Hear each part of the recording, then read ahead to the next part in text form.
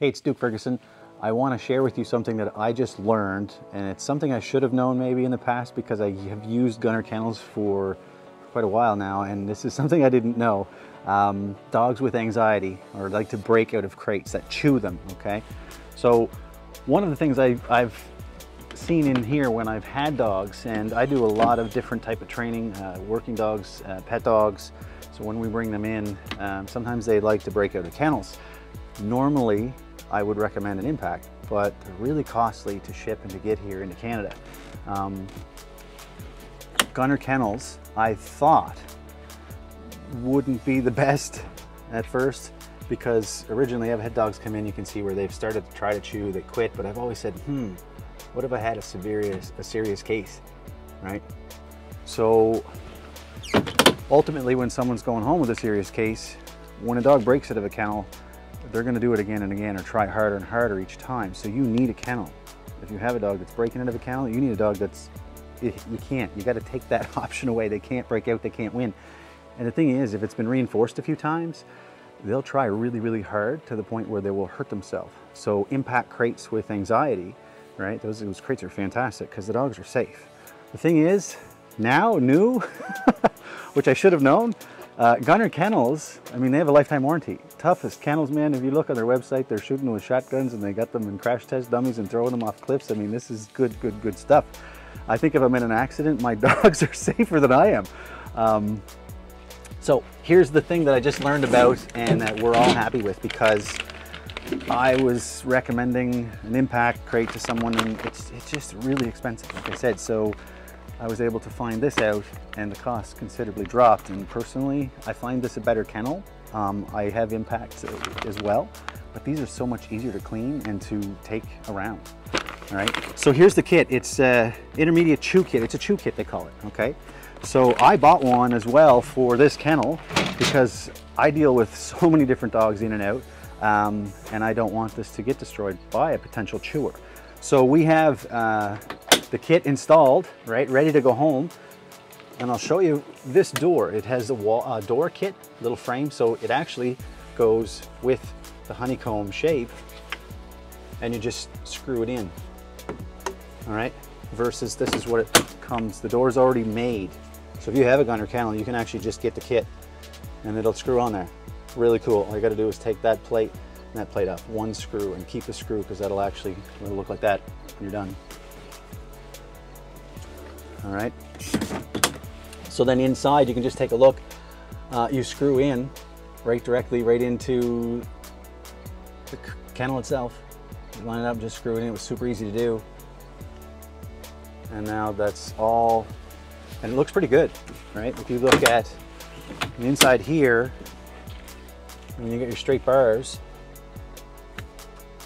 right? and on the outside, looking in, straight bars, lots of airflow. I have seen where people are messing with the dogs, trying to get their fingers and stuff in there sometimes. It's a bit of a pain, you gotta chase them, but check this out. On this side, it actually matches the front pattern, right? I don't know if you can see that. Let me see if you can use it, but it looks, it looks good. I think it looks nice from afar too. It's a little good aesthetic. Keeps people a little bit safe. so that's one other aspect, safety, all right? Um, so I can't say enough good things about Gunner Kennels. I've been a customer, we're just adding to the collection all the time and we're referring them to whoever we can. Best kennel ever. Um, I must say, if you're going to get one and you're thinking on having it for your dog that's to lounge, like to be in all the time, in and out, um, you need the big one, okay? They, are not as super roomy. They're, I mean, they're good enough. Dogs don't need tons and tons of room. Um, you know, labs, 80 pound lab gets in here, no problem. Actually, they also, I'll give you a little another thing. These are the intermediate size, all right? I've got, I've got three of them right now in the truck, but, and I have a Toyota Tundra, all right? So with the Tundra, two intermediates fit, no problem. Slide in here, we're just gonna strap them on. Uh, but it also will hold one intermediate and one uh, of the larger one, okay? So I can put one of each, all right, which is good. These look better. but it sometimes you get a bigger dog. If you're going to have a dog that's gonna be lounging around in the house a lot, um, just check size wise for comfort for that type of thing. But transportation, epic. The intermediates will even fit in the back seat. Like I said, I have a Tundra with tons of room to spare. All right. So I hope that helps anybody with dogs that have anxiety or crate chewers that are breaking out of crates. Listen, if your dog is breaking out of a crate, if it's done it once, it's gonna try it again. If it's done it twice, oh, it's gonna try it harder the third time. Here's what happens. When we start reinforcing the kennels and trying to uh, just put little additives to them, the dog's trying harder, uh, more danger for itself. So uh, they can break their teeth. They will try that hard to break their teeth, uh, break their jaws in bars that you just don't even know how they got their teeth into wherever they can in the kennels. Uh, I've seen dogs break through plastic crates in less than 15 minutes, right? Wire crates are usually the dangerous ones. And when I say get a crate, just spend the money no matter, just safety. If you want your dog long-term and sanity, all right, do that. Don't skimp on it because there's, the outcome is death. You can get your dog to be hung up and, and damaged.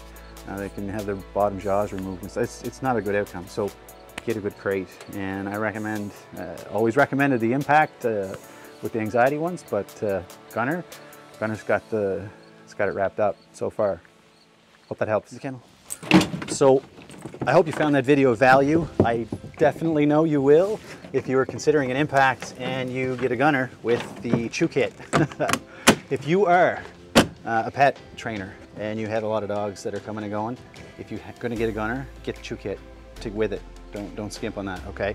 Um, I'll set a link for your convenience down in the description to Gunner's stuff. Uh, they get a lot of stuff. Their service is great. Their business is great. Their product is great. Everything is great about it. So I know by the price that you're going to save though as well, I think you're going to have value. So enjoy.